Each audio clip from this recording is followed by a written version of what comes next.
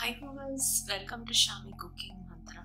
Today we are going to see Dandaka chutney, that is ivy gourd chutney. It's a Andhra kind of chutney. For that I have chopped dandakai, that is ivy gourd, and to a pan I am adding oil and mustard seeds, 4 to 5 red chilies and little groundnuts, jeera,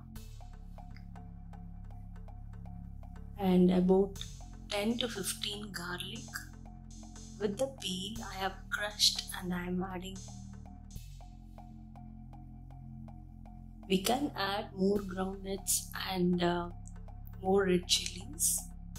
This is going to be of mild spice. If you want, you can add spices. It depends on your spice levels. Green chilies. I'm adding dondakaya, that is ivy gourd.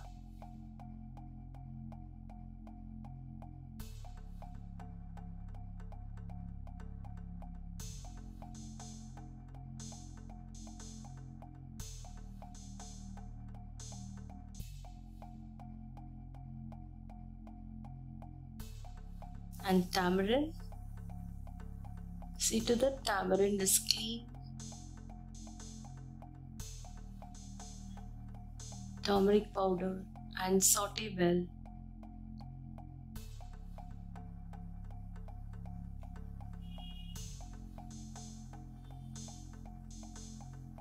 And close it with a lid.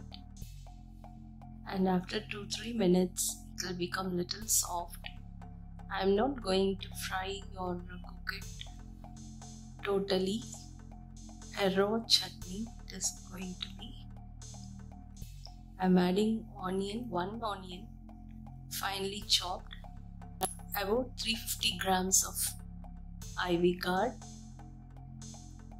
For that, I have added one onion, 10 garlic, 5 red chilies, 2 green chilies, and about 2 tablespoons of groundnut.